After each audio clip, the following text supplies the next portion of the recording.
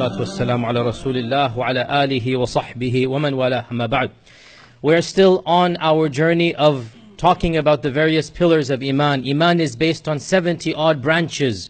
And today's branch is going to cover our first action-based branch. Hitherto we've been talking about branches that are in the heart. And we're going to come back to some of those as well. But Iman is also that which is manifested in the limbs. And today we're going to talk about one of the pillars of Iman, one of the branches of Iman that is mentioned in the Quran and in the Sunnah in a lot of detail. And this branch, believe it or not, it might shock some of you or surprise some of you because many of us don't consider this as a branch of Iman. And yet it is by explicit text of the hadith a branch of Iman. And that is the branch that we know as wudu. Wudu.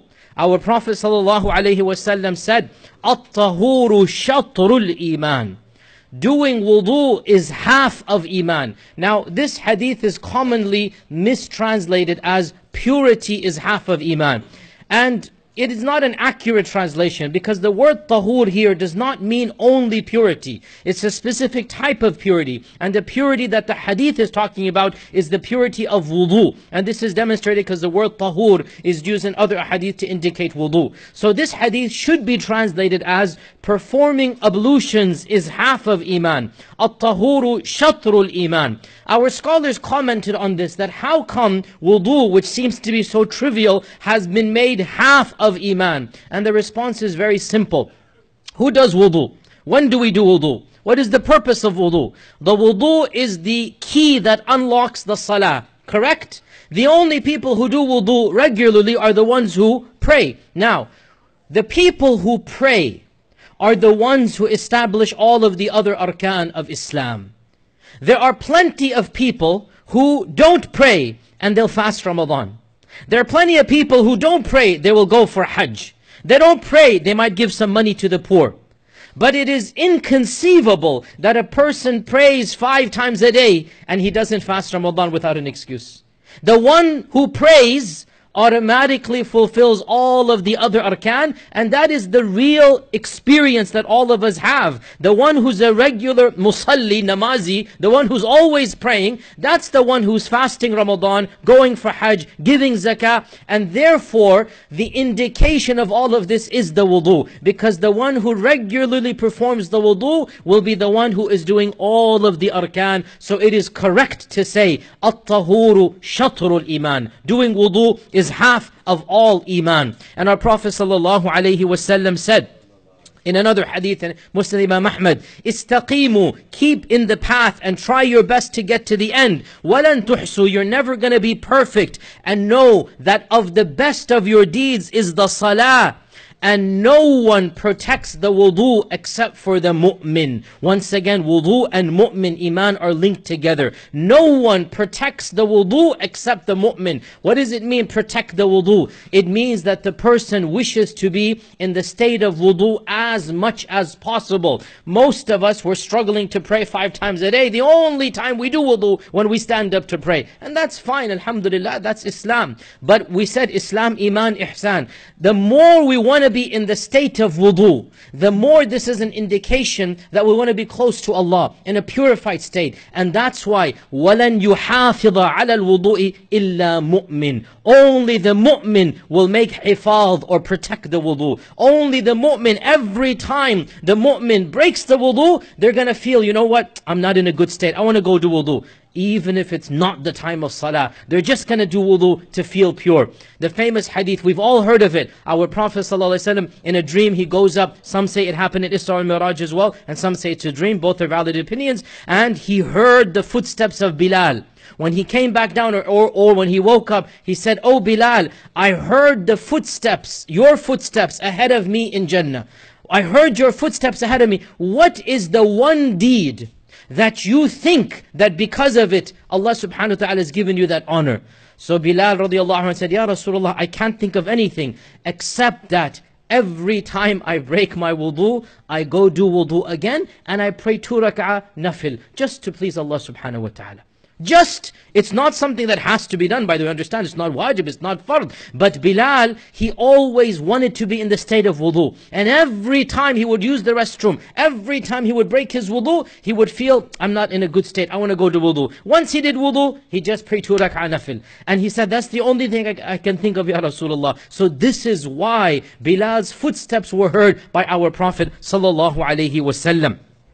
In another hadith in Tirmidhi, our Prophet ﷺ, he performed a complete and full wudu. And we all know, and if you don't know, you should look up online. I've also given a class on wudu. He performed a full ablution, three times all the limbs, and making sure everything was touched. And then he said, whoever performs wudu like this wudu of mine, man mithla wudu'i hada, which is the perfect wudu. Whoever does wudu like this wudu of mine, then he stands up and prays prays two rak'ah without any whisperings coming. In other words, concentration. With those two rak'ah, then all of his previous sins will be forgiven. So this is a beautiful technique, a beautiful gift that our Prophet has given us. You want your sins forgiven? All you have to do, do wudu, a perfect wudu. And pray two rak'ah in which you concentrate. Don't think of anything else. And then ask Allah for forgiveness. And our Prophet ﷺ also said, should I not tell you of those deeds that cause your sins to be forgiven and your ranks to be raised in Jannah? They said yes. He said, number one, إِسْبَاغُ الْوُضُوءِ عَلَى الْمَكَارِهِ Doing wudu in difficult circumstances. We'll explain what this means. Number two, كَثْرَةَ الْخُطَى إِلَى الْمَسَاجِد Lots of footsteps to the masjid, which means you're always going to the mosque. You're always a regular at the mosque. Number three, انتظار الصلوات بعد الصلوات Waiting for the salah. In other words, you just wait for the imam and you, the only reason you're in the masjid, you're just waiting for Isha. Otherwise you'd be at home. You're waiting, waiting until the Imam comes and then you pray and then you leave. So you're waiting in the masjid for the salah. He said, ذَلِكُمُ الرِّبَاطِ ذَلِكُمُ الرِّبَاطِ ذَلِكُمُ الرِّبَاطِ That is jihad in the way of Allah. These three things. Number one, perfecting wudu at times of difficulty. Our scholars say the classic example of this is having to do wudu at Fajr time when the water is cold. It's a very difficult time. Of us, we are all luxurious. We turn on the hot water. We wait for three minutes, five minutes until the water is hot. We don't even have that, and we're still, you know, a little bit, you know, uh, finicky and a little bit awkward because once we put the water, it's still cold in the atmosphere. But imagine, once upon a time, the Sahaba would have to crack the ice on top of the bucket, and they'd have to put their hand inside of that bucket while the wind is blowing, while the cold wind is blowing. In that point in time, itmamul wudu, isbaghul wudu, making sure every part of the body is touching that water. And I have experienced this a few times in my life, the cold of Medina, uh, between Mecca and Medina, multiple times I've had to do wudu with nothing but a jug of water. And it is not something that you look forward to doing. It's actually a very, very difficult thing. And this is what the Prophet is saying, that your love of Allah is so much. At that point in time, you are more eager to perfect the wudu. Isbaghul wudu ala al These things are equated to striving in the way of Allah Allah subhanahu wa ta'ala. In another beautiful hadith, our Prophet sallallahu alayhi wasallam once visited Baqi'. It's a very emotional hadith as well, and I want you to memorize it. Beautiful hadith. And he made dua for the people of Baqi'. And then he said, How I wish I could see my brothers, my ikhwani. The Sahaba said, Ya Rasulullah, are we not your brethren? And he said, No, you are my Sahaba, antum ashabi. My brethren are those who are going to come after you. They've never seen me.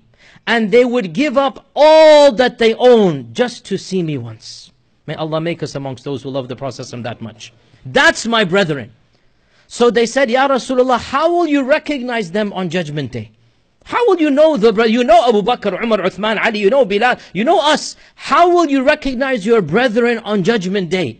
So he said, don't you see if one of you has a beautiful horse that is ghur and muhajjal. And ghur is the horse that has that white strip on its forehead. And across the world. And I'm not a horse owner, I'm not into horses. Yet when I see such a horse, I'm like, wow, that's a beautiful horse. You have that white streak in the middle. This is called ghur. Muhajjal is the horse that at the very bottom of its limbs, there is that white streak as well, or the bottom tip above the foot is white as well. And this was the most beautiful type of horse. That is the Arabian stallion, the Arabian horse that has that white strip in the middle. It's a dark horse. It has that white strip and its limbs, two, three, four of its limbs, it's the are, are white stripped on top of the uh, the the the hoof. So this is muhajjal. So he said, if one of you had one of those stallions, that's ghur muhajjal, and it was in a whole flock of horses, couldn't you recognize that one stallion in all of those horses? They said, of course. So the Prophet said, إن أمتي يأتون يوم القيامة غرا محجلين من آثار الوضوء. My ummah will come. All of them will have those bright faces and those bright limbs from the effects of the wudu. This means, O Muslims, the only way that our Nabi and our Rasul will recognize you and me out of the billions of people on Judgment Day to call us to drink from His fountain, to call us to drink from the hawd, to call us so that we can be under His shafa'ah. The only way will be through the wudu. If we do not have the effects of wudu, then our Nabi will not recognize us. What a loss that is. So my ummah will come ghurran muhajjalin from the effects of the wudu. Our Prophet ﷺ also recommended a dua after we make wudu. He said, whoever perfects the wudu, whoever does wudu with itmam, and again with itmam doesn't mean sloppy slush, just throw water on the face, we don't care where it's going. No, this is a big mistake, brothers and sisters, and I speak especially to our youngsters and even to our elders. When we do wudu, that means every part of the body that water is supposed to touch, it must touch it. We don't just splash some water here and there and that's it. No, wherever the water is required to touch, and that's the fiqh of wudu, but basically all the way to the elbows, the entire face, wiping of the head, obviously the feet,